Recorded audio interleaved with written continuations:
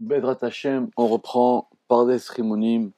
On est dans le premier portique, Shah Rishon, qui traite des sphirotes et qui s'appelle Esser Velotesha, c'est-à-dire il y a 10 sphirotes et non 9, selon l'enseignement de la Mishnah du Sefer et Yitzira.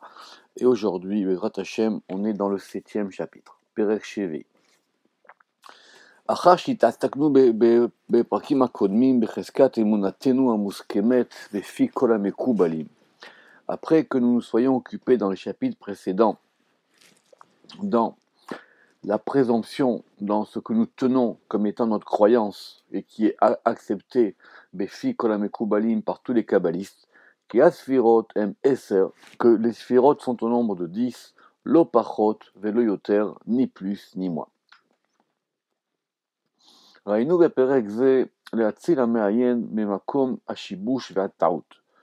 Nous voulons dans ce chapitre présent de sauver le scrutateur d'un, d'une erreur et d'une, erreur et d'une incompréhension, ou plutôt d'une faute de compréhension.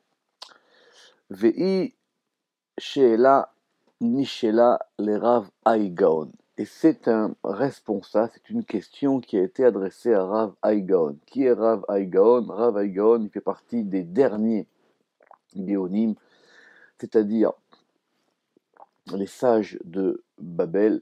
Il était le Rosh Yeshiva de, Pumbe, de Pumbedita et il a laissé devant lui beaucoup d'élèves. Il a enseigné de nombreuses années, il est mort centenaire et il a laissé une grande œuvre de livres et surtout de responsables. Et il y a une responsable célèbre que les élèves lui ont adressée, sur laquelle le Ramak reviendra plus loin dans le Pardès, et qui est une question fondamentale de Kabbalah.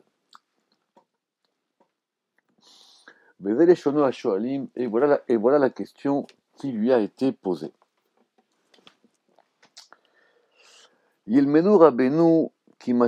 Razal il faudrait que notre maître sont les élèves qui s'adressent au Rav, à Rav Agaon, et que notre maître nous apprenne que, nous, nous enseigne, qu'en est-il que, les Razal, que nous avons trouvé dans l'enseignement des Rabbanim, Zichronam Livracha, Yud Gimel Midot, Shekibel Moshe Rabbeinu Alav Shalom, que le prophète Moïse, Moshe Rabbeinu, a reçu 13 attributs. C'est quoi ces attributs? Ce sont les attributs que Moïse va invoquer lors de la faute du veau d'or pour pouvoir pardonner cette faute. Et ce sont 13 attributs célestes qui correspondent à 13 noms divins, ou plutôt à 13 groupes de noms. Et c'est quelque chose qu'il a reçu du ciel, et ces 13 attributs, nous les invoquons d'ailleurs dans la prière tous les jours, chaque fois qu'effectivement on veut se faire pardonner des fautes parce qu'ils correspondent à, des degrés supérieurs.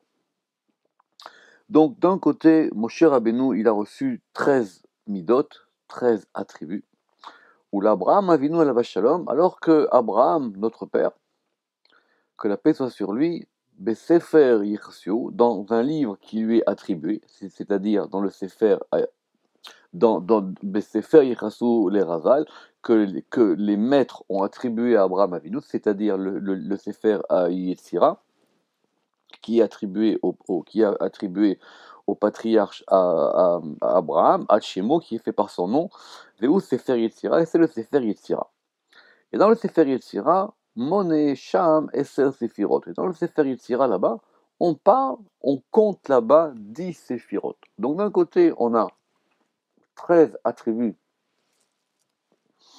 qui ont été transmis à Moïse, et de l'autre côté, le Sefer Yetzira, qui au nom de l'enseignement d'Abraham, compte 10 sphirotes. Notez bien que ce n'est pas le même nom. D'un côté, il y a les Yud Gimel, les 13 Midot, et d'un autre côté, il y a les 10 séphirotes. Et nous avons besoin d'apprendre de sa bouche sainte, c'est-à-dire la bouche sainte de Rav Aigaon, à qui on adresse la question. Est-ce que les, les 10 sphirot dont on parle dans le Sefer Etzira correspondent aux 13 midot qui ont été donnés à Moshe Rabbeinu?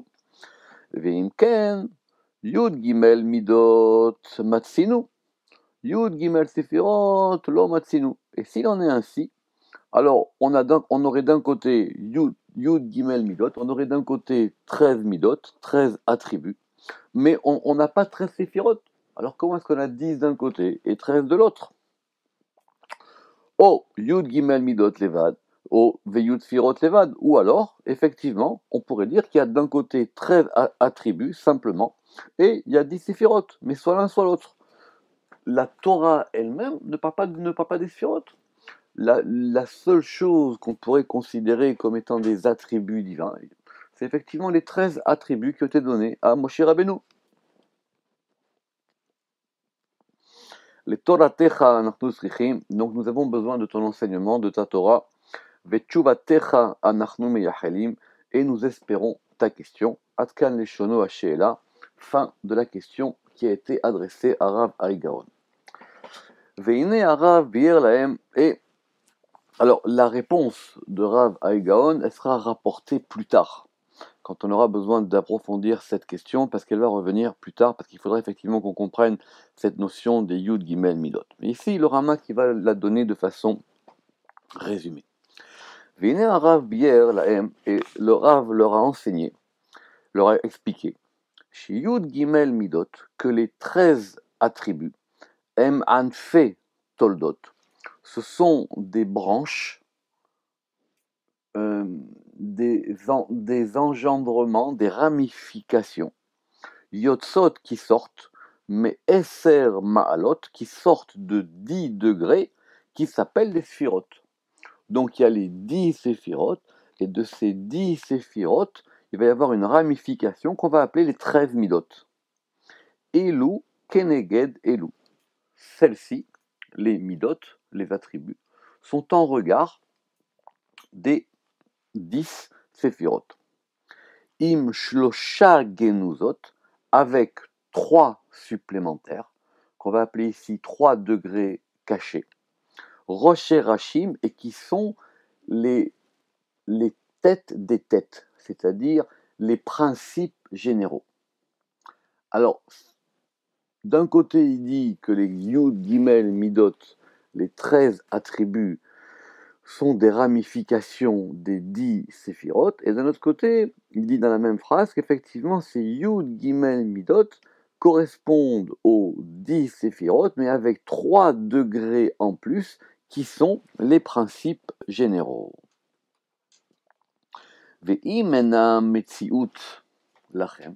Et si effectivement nous n'avons pas d'établissement, c'est-à-dire d'établissement dans la Torah réelle des dix séphirotes, Mesoret, Mesoret Laem les Kadmoninu.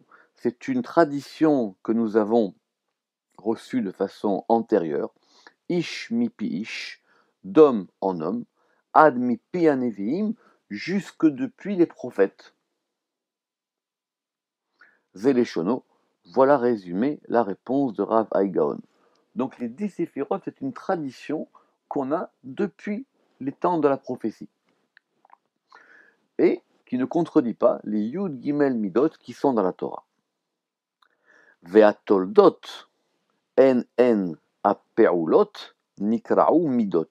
Et ces dix séphirot, elles ont des ramifications, des engendrements, qui sont des actions, en peulot, qui sont des modes actifs. Et ces modes actifs s'appellent des midot, ça s'appelle des attributs.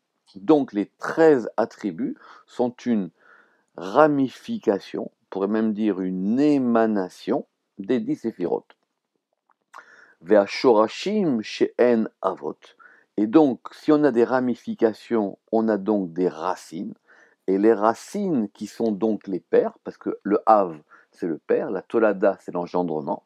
Nikraou Séphirot, elles s'appellent des Séphirotes, et pourquoi qu'elle s'appelle Séphirot L'homme Yesh Mispar, non pas parce que le terme Séphirot pourrait s'attribuer à la notion de nombre, ça ce sont toutes les étymologies pour expliquer le nom Séphirot, etc., etc.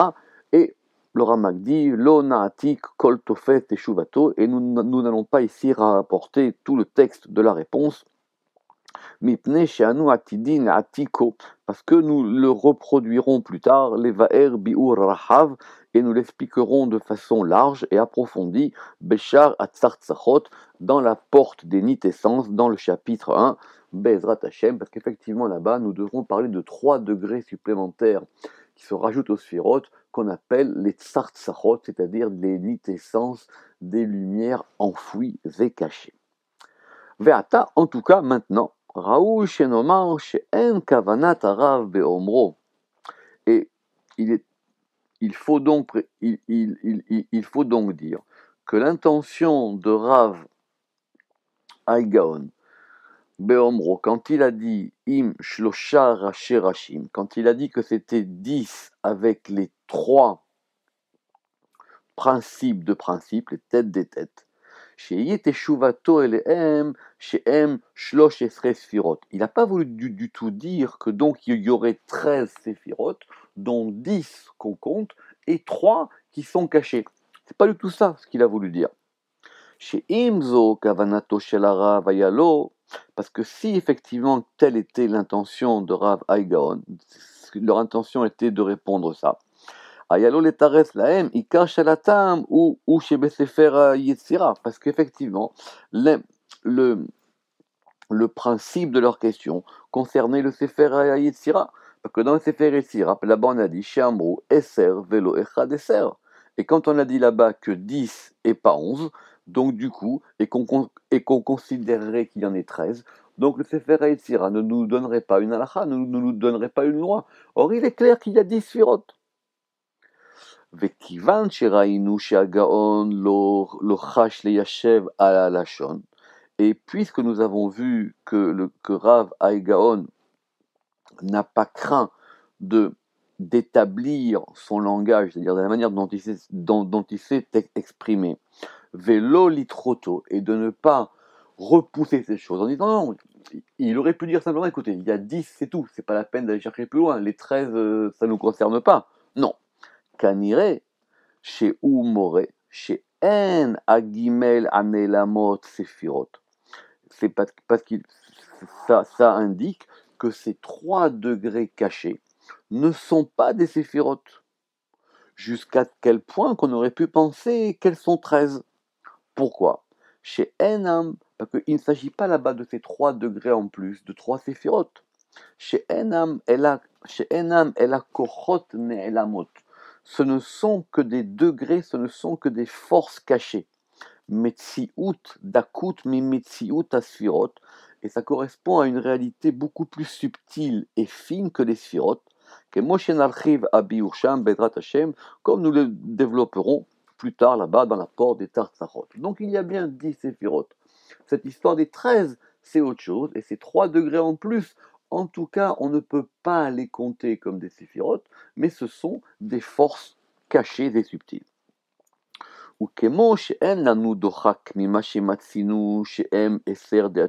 Et de même, nous n'avons pas d'objection quand nous, quand, quand nous trouverons et quand ça sera expliqué plus tard, que par exemple, il y a 10 séphirotes chez M et Ser de Hatzilut, qu'il y a 10 séphirotes dans le monde de la Hatzilut, ve Esser des Bria, qu'il y a 10 séphirotes dans le monde de la Bria, ve des Yetzira, et qu'il y a 10 séphirotes dans le monde de la Yetzira, ve des Asiya, dans le monde de la Asiya, ça non plus, c'est pas une objection.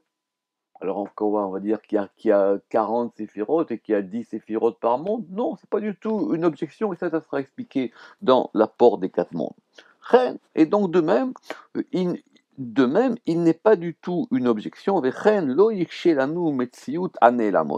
donc du coup, le fait qu'il y ait des degrés cachés dans ces trois éléments n'est pas du tout une objection. Mipne, qui a séphirotes, léolam, Enam Ela Esser. Parce que de toutes les manières, les séphirotes sont et demeurent au nombre de 10. Et si maintenant nous trouvons une réalité qui est plus cachée, Em Mekorot Leniglot, ces réalités cachées sont des racines pour les choses dévoilées. Mais dans ce qui est dévoilé, ce sont 10 sphirotes et pas 11 ni 9 comme on a dit.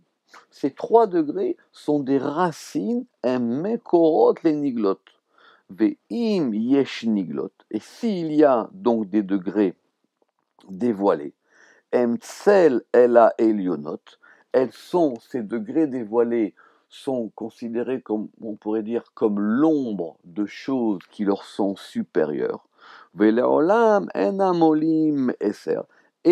Dans tous les cas, cela ne sera jamais supérieur au nombre de 10. Velo yardu me'eser, et cela ne, sera, pas non plus inférieur au nombre de 10.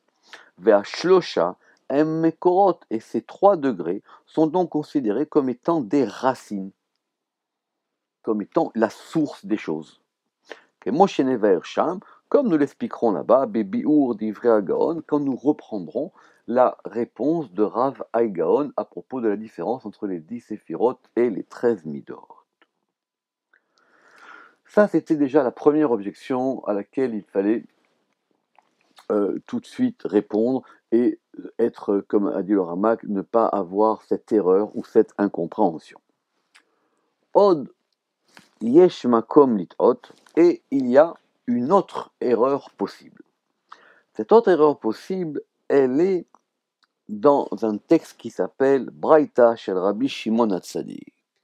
Une braïta, c'est-à-dire c'est un enseignement extérieur, donc un enseignement qui était en dehors littéralement du Talmud, et qui est attribué à Rabbi Shimon Hatzadik, qui faisait partie de la génération des sages du Talmud. Et cette braïta, Veretika, elle a été reproduite par Rabbi Chamay Gaon, qui, est lui un Gaon de, des générations beaucoup plus avant, dans un livre qui s'appelle Sefer Ayoun. Ce livre qui s'appelle Sefer Ayoun, c'est un livre très court qui existe dans plusieurs versions.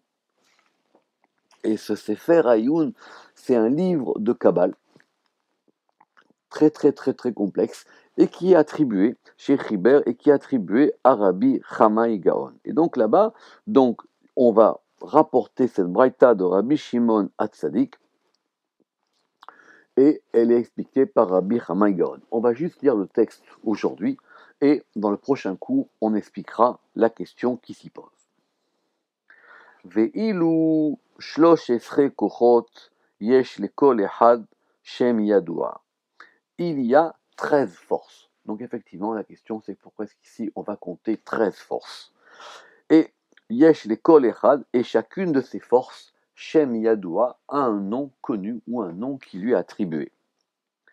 Ve Sham Ma'alatam Zo le Ma'alamizo, et là-bas, leur degré, leur élévation est chacune supérieure à celle qui est en dessous. Donc ce sont 13 degrés qu'on peut considérer comme, comme étant 13 paliers, l'un étant au-dessus de l'autre.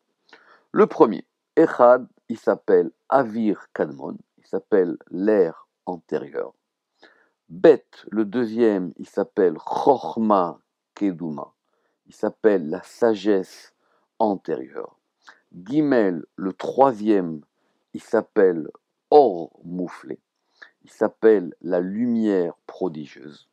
Le quatrième, il s'appelle Hashmal. Hashmal, on va pas le traduire. Et le cinquième, il s'appelle Arafel. Arafel, ça serait comme une nuée un peu ténébreuse. Vav, le sixième, il s'appelle Kisse Anoga, le trône de la lumière éclatante. Noga, c'est une lumière, mais c'est une lumière très très forte. Le 7, Sheva, Ofen Agedula, alors on va dire l'aspect de la grandeur, qui s'appelle Anikra Chazchazit, qui s'appelle euh, qui s'appelle le chasrazit, c'est un mot qui est redoublé sur lui-même, on va dire la vision redoublée. Mais il y a le mot de la vision en hébreu qui est la reia, le roé, celui qui voit. Il y a la vision en araméen qui s'appelle le chosé. Et ça, c'est un degré encore plus fort. C'est un degré de vision prophétique. Makom motse Chisayon Achosim, et qui est l'endroit où se trouve la vision des visionnaires. Ça, c'était pour le septième. Le huitième, il s'appelle Kérouv. Kérouv, on ne va pas le traduire. Le neuvième tête, il s'appelle Galgale Hamerkava. Ça s'appelle littéralement les roues du chariot. Le dixième Yod, Avir Asovev. Il s'appelle l'air qui tourne ou l'air qui entoure. Yud Aleph, le 11, il s'appelle Pargod. Pargod, c'est un rideau. Il s'appelle le rideau. Zeu Kisea Kavod. Et c'est le trône de l'honneur. Le Yud Bet, le douzième, il s'appelle Makom Aneshamot. Il s'appelle l'endroit des âmes. Anikra et qui s'appelle Chadre Gedola. Les pièces. Chadre les pièces de la grandeur. Et le treizième, Yud Gimel, Soda Ma'araha a Eliona, le secret de l'agencement supérieur, Anikra Echa la Kodesh a Elion, qui s'appelle le palais du Saint supérieur. Et donc voici Veilu, à Yud Gimel Kohot, voici donc ces treize forces, Mitgalim Keechad, et elles se dévoilent Keechad commune, ensemble, Mi Keter Elion, depuis le Keter, depuis la couronne supérieure, Ane Elam qui est caché et qui s'appelle Ouman, Atkan Leshono, fin de la citation de cette, de cette citation du Sefer Ayoun qui est la Braïta de Rabbi Ishmael. On, reviendra sur cette Braïta dans, la dans, dans, le prochain cours pour comprendre effectivement ici si les 13 ne sont pas une objection au nombre des 10 séphirotes. Baruch Adonai Olam. Amen ve Amen.